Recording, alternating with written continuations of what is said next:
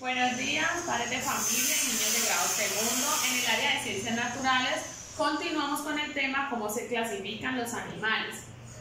Continuamos con los animales terrestres.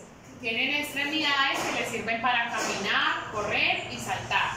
En este caso tenemos la oveja. También están los animales acuáticos. Poseen aletas que les sirven para nadar y desplazarse en medios acuáticos, como los peces, los delfines. Animales voladores. Poseen alas que les sirven para desplazarse en el medio aéreo.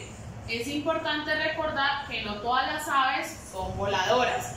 Como tarea, vamos a dibujar tres aves que no sean voladoras y una que sí vuele. Muchas gracias.